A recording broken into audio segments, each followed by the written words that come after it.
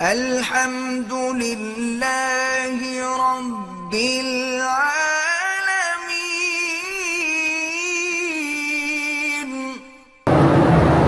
एक अजीब मसला मेरे पास आया था। मुझे खुद लड़की ने टेलीफोन किया। उसने कहा कि मेरा जो खामद है,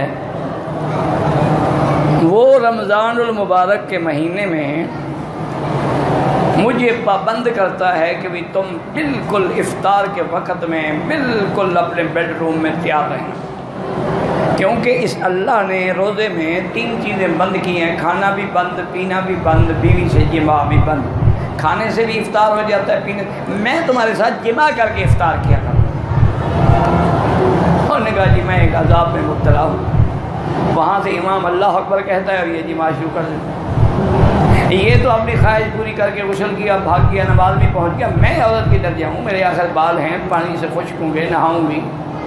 फिर जाके नमाज़ पढ़ूँगी। दूसरे कमरे में बच्चे जो हैं इफ्तार दस्तरखान पे बैठे हुए और ये यहाँ अंदर इफ्तार कर रहा यही है हम जो कहते हैं कि हदीस जो खुद समझते हैं ना, फिर यही हालत है।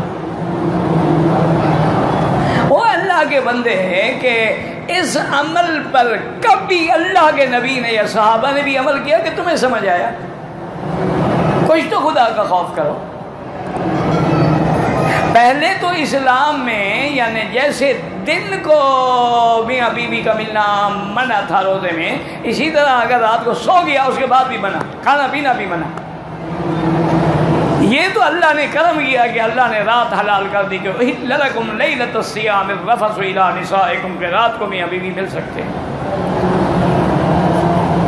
दुनिया में हर किस्म की मखलूक है। अल्लाह ताला से दुआ करें, अल्लाह हिदायत दे। और एक बात याद रखो, जब तक इस्लाम के अहकाम पे चलोगे, दीन दुनिया में कामयाब रहोगे। और जिस दिन इस्लाम के रस्तों से हटोगे, उसी दिन तबाही और बर्बादी शुरू। ये सुदाक की बीमारी है, आदशक की बीमारी है, एड्स की भी कहाँ से होती है? अब रो रहा है पूरा यूरोप। अपनी बीवी के बाद जाते हुए डरते हैं। कि अल्लाह को आलू में इसको एड लगा हुआ तो मैं तो रुल गया ना।